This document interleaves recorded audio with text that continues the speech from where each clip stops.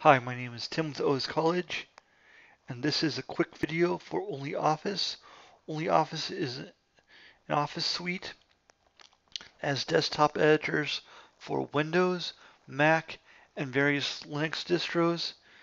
Users can also access their documents and these applications through a web browser, and there are versions that that the, that can be installed through the Apple Store on an iPhone or iPad or through the Google Play Store on an Android device. In this video, we'll, we'll be looking at the document editor and how to add a title to a table in the document. OnlyOffice is designed to publish documents, or one of the features that OnlyOffice has is, is it can it's very good at publishing web-based documents, and so for for people who are are visually impaired, giving titles to tables and images on the web is very important when when you share these documents via via the World Wide Web, and only, the OnlyOffice document editor allows you to do this through through through its uh, through this feature.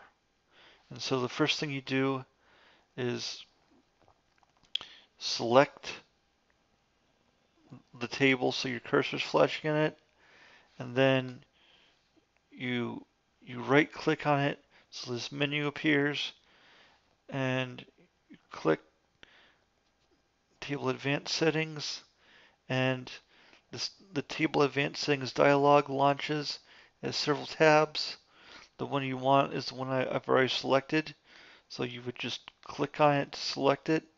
If, if it if it, it's not already selected when, when you're doing this. And you have a title and description. And so you just type a title and then you type a description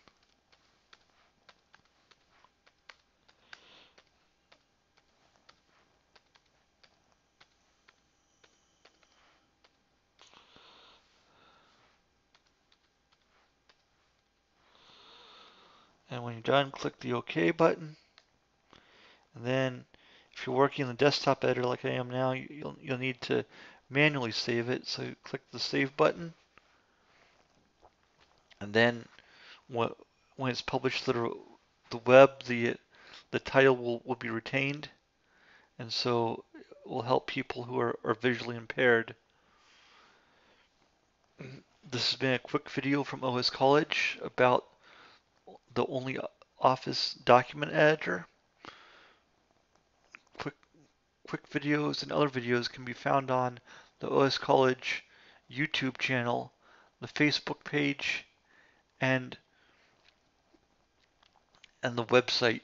In addition to videos, the website also has blog articles and web pages about various Office suites, such as LibreOffice, Google Drive or Google's Office Suite, OnlyOffice, and Microsoft Office Online. Thank you for watching.